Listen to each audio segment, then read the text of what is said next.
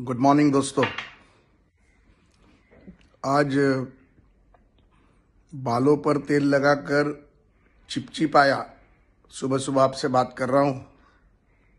आज मुझे सब कुछ करने की इजाज़त है क्योंकि मेरा आज बर्थडे है, हैप्पी वाला बर्थडे।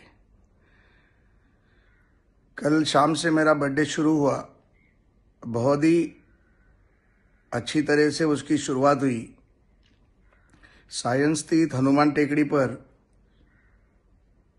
विश्व हिंदू परिषद अशोक सिंघल जी के स्मृतिर्थ एक सामाजिक संस्था की यहाँ पर हनुमान मंदिर में हनुमान जयंती के अवसर पर हनुमान जी की पूजा की और साथ ही में मैंने वहाँ पे बनाए हुए अशोक सिंघल जी के स्मृतिर्थ बनाए हुए संस्था में जहाँ पर कैंसर पेशेंटों को रहने की और उनके फैमिली को रहने की सुविधा होती है, जो विश्व हिंदू परिषद हो या राष्ट्रीय स्वयंसेवक संघ हो, उनके माध्यम से वहाँ पे इन पीड़ितों की सेवा की जाती है।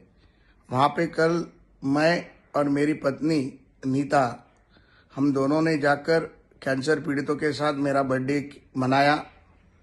वहाँ पर हमने उनके साथ खाना खाया। केक काटा, उनसे बातचीत की।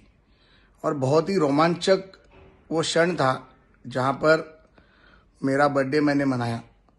हमेशा हर साल मैं ज़्यादा से ज़्यादा कोशिश करता हूँ कि मैं अनाथ बच्चों के साथ बर्थडे मनाऊं, लेकिन इस वक्त